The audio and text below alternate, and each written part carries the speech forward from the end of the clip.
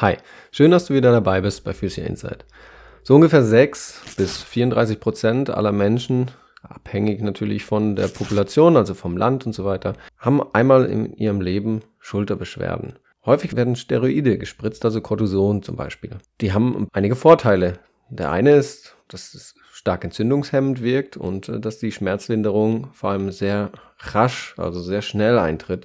Und deswegen ist es auch sehr beliebt im Vergleich zu Physiotherapie, wo man meistens Übungen machen muss und das ein bisschen länger geht. Allerdings hat man bei Tieren herausgefunden, dass Steroidinjektionen dieses Sedengewebe auch belastet bzw. negative Auswirkungen darauf hat. Und das konnte kurz, kürzlich auch in Studien an Menschen nachgewiesen werden.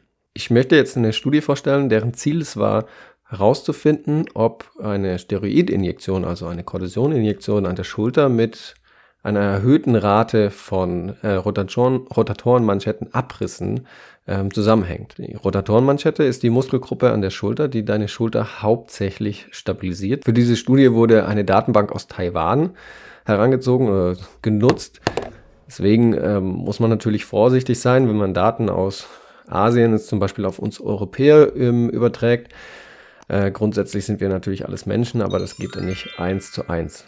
Wichtige Fakten für diese Studie waren, dass es insgesamt ähm, 1025 Patienten gab, die Schulterbeschwerden hatten. Davon haben äh, 205 Patienten eine Cortisoninjektion bekommen und die 820 übrig gebliebenen, die haben eben keine Cortisoninjektion bekommen. Insgesamt hat man festgestellt, dass äh, in der kompletten Population, also von diesen 1025 Menschen im Schnitt knapp 2,9 Prozent, also 30 von diesen 1025, ähm, einen Rotatorenmanschettenriss bekommen haben oder sich zugezogen haben.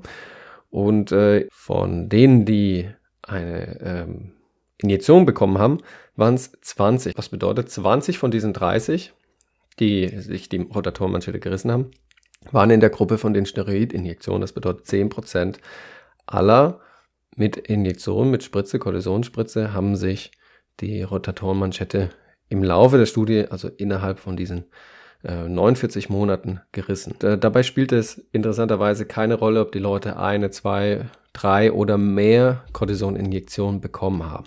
In der Kontrollgruppe, also in, den, in der Gruppe, die keine Injektion bekommen hat, waren es nur 1,2 Prozent eben diese zehn Leute, die sich trotzdem einen Rotatorenmanschettenriss zugezogen haben. Was super interessant ist, ist, dass auch neben der äh, Cortisoninjektion auch Rauchen und Leber, also chronische Lebererkrankung mit einem ein Risikofaktor waren für einen Rotatorenmanschettenriss. Und zwar hat die Injektion das Risiko auf einen Riss um 7,4-fache, also um das Siebenfache erhöht, Rauchen um ungefähr das Doppelte und eine chronische Lebererkrankung um ungefähr das Dreifache. In einer anderen Studie, die das schon untersucht hat, war die Rissrate nach zwölf Wochen bei 17 äh, Prozent, also nahezu doppelt so hoch wie in der Studie, die ich dir jetzt da vorgestellt habe. Da kann man sagen, okay, das liegt äh, wahrscheinlich an der Population. Komme ich nochmal zum Rauchen zurück. Es äh, tut mir leid für alle Raucher.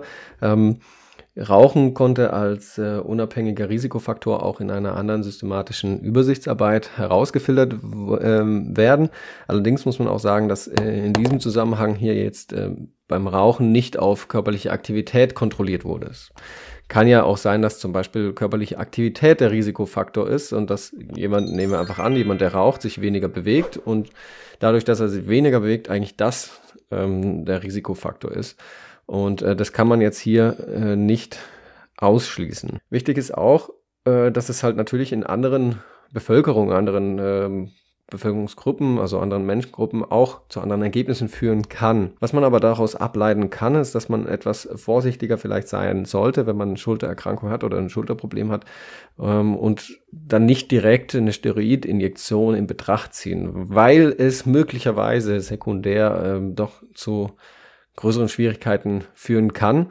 Und es gibt auch schließlich ähm, andere Methoden, die vielleicht nicht so schnell sind und ähm, auch nicht so bequem, weil man selber aktiv sein muss, aber die ähm, sekundär wahrscheinlich einfach besser für die Schulter sind und besser für den Körper sind. Das ist zum Beispiel Physiotherapie und ein entsprechendes Übungsprogramm. Wir haben auch dazu ein Video auf ähm, YouTube, auf unserem Kanal.